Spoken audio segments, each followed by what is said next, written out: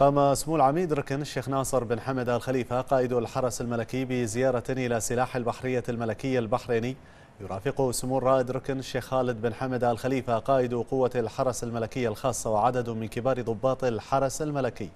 حيث كان في استقبال سمو سموه قائد السلاح وعدد من كبار الضباط. وخلال الزيارة استمع سمو قائد الحرس الملكي إلى إيجاز من قبل قائد السلاح اشتمل على خطط التطوير والتحديث وبرامج الإعداد والتدريب العسكرية التي تشهدها القوة الخاصة الملكية.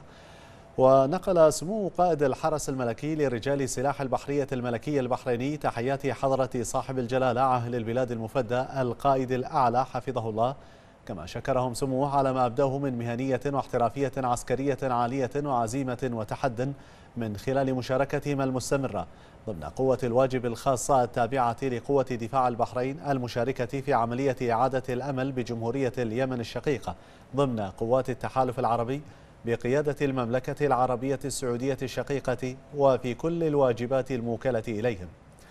كما نوه سموه عن الشكر والتقدير الذي يحظى به رجال قوة دفاع البحرين من لدن قيادات قوات التحالف العربي.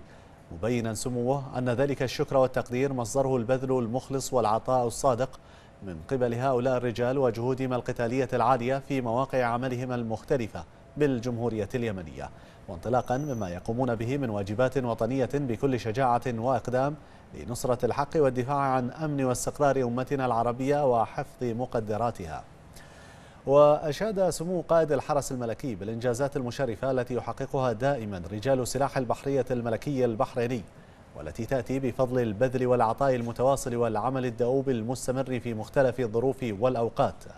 وأضاف سموه بأن رجال هذا السلاح على استعداد دائما لحماية مكتسبات الوطن ومنجزاته الكبيرة ونصرة الأشقاء بجانب إخوانهم من مختلف أسلحة ووحدات قوة دفاع البحرين.